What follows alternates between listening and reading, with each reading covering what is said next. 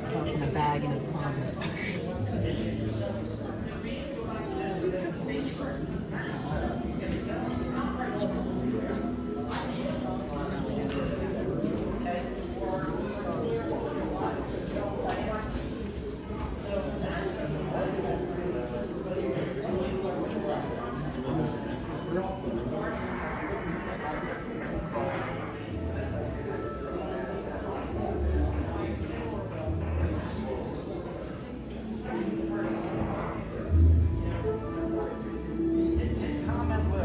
And I'm, I'm not gonna say anything too bad on him I'm just talking about what he's done in schools.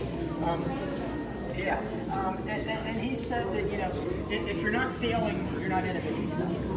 Because when you're doing things like building rockets, you're gonna have a lot of failures. And to some extent, software is true as well. If you let the software go while you're still in failures, or while you're still.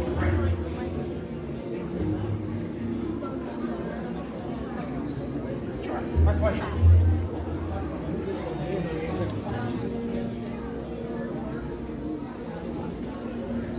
There's another